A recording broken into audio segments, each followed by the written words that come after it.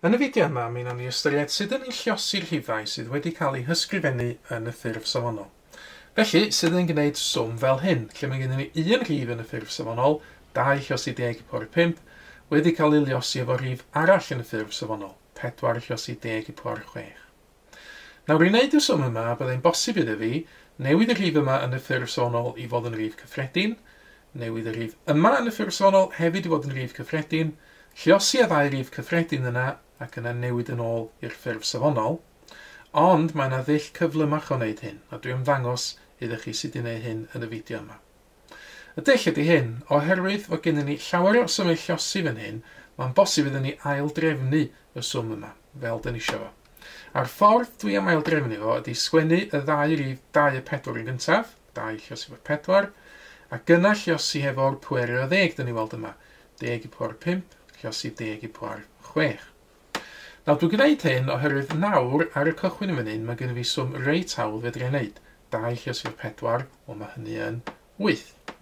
A wedyn, y swm yma fan yma, 10 i pwr 5 lle sydd 10 i pwr 6, byddai atab hwn gan ddefnyddio un o'r rheolau indexau, y rheol liosi. Ac mae'r rheol liosi yn deithio ni fod 10 i pwr 5 lle sydd 10 i pwr 6 yn hafol i 10 i'r pwer 5 adio 6. Na mae hynny'n 11 Ac felly mae'r pwer yn yr ateb fan hyn hefyd yn 11. Ac felly dyma fo'r ateb terfynol yn barod yn y ffurf safonol. Nawr i gofio be dyn ni'n gwneud yn hyn, mae yna frawddeg fach all helpu. Be dyn ni'n gwneud yn hyn ydy dyn ni wedi lliosi'r rhifau. Hynny ydy, dwi'n golygu 2 a 4 yn y cwestiwn hyn, lliosi 2 a 4 i gael 8. A hefyd, dyn ni wedi adio'r pwerau. Y pwerau yn yr un yma oedd 5 a 6, dyn ni'n adio hynna i gael 11. A dilyn y dell yna felly yn y cwestiwn newydd yma fan hyn, lle mae gennym ni 3 llos i 10 bwr 5, llos i hefo 4 llos i 10 bwr 6.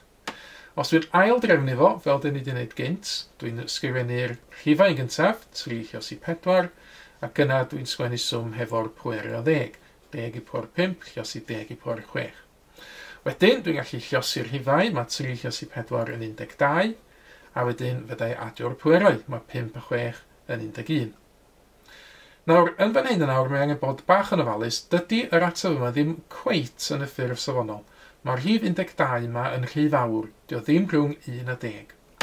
Ond wedyn, os ydym ni'n cofio'r dill o'r fideo blaenorol, lle oeddwn ni'n newid rhifau oedd bron yn y ffurf safonol i fod go wir yn y ffurf safonol, yna dyn ni'n cofio fan hyn fod angen newid yr 12 fod yn 1.2 a wedyn gawn ni rhannu'r 12 efo 10 i gael 1.2, yna mae'r pwer yma 11 yn mynd 1 yn fwy, roedd nawr dyn ni angen llosi fo 10 unwaith yn fwy. Ac yn awr, dyma fo'r ateb yn y ffurf safonol. Un cwestiwn arall i orffan. Eto, na i gychwyn drwy ail drefnu y swm yma, drwy sgwennu yr rhifau yn gyntaf 7 a 2.4 yn yr achos yma, a gyna llosi hefo'r pwerio 10. 10 i pwer 8, llosi 10 i pwer 6 yn fan hyn. 7 lles i 2.4, wel, ni'n neud hwnna ar y ochr, lle ni'n neud 2.4 7 o weithiau fel hyn. Gweithio hwn allan, 4 7 yn 28, 2 7 yn 14 a 2 arall 16. Mae angen y pwynt degol yn yr un un lle, yn yr un un golom. Felly 7 lles i 2.4 yn 16.8. Wedyn, dwi'n adio'r pwerau fan hyn, angen bod yn ofalus efo'r rhifau negatif, y swm sydd gen i wedi 8 adio minus 6, wel mae adio rhif negatif yr fath a tynnu, felly 8 tynnu 6 sydd gyda fi sydd yn ddau. Eto, bach o fel hyn, di hwn yn cweit yn y ffurf safonol, mae'r rhif yma yn fwy na 10, felly dwi angen rhannu'r 16.8 efo 10 i gael 1.68, ac o ganlyniad i hynna mae'r pwer 2 mae'n mynd un fwy i fod yn bwer 3.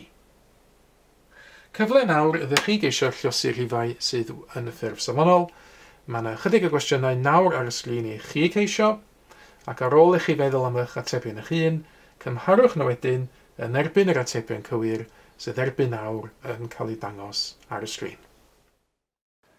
Mae mwy o fideos adolygu ar gael ar ein sianel YouTube Adolygu Mathemateg. Am y newyddion diweddaraf neu holi cwestiwn, dilynwch ein cyfrif trydar at mathemateg neu ewch i'n gwefan www.mathemateg.com am fwy o adnoddau adolygu.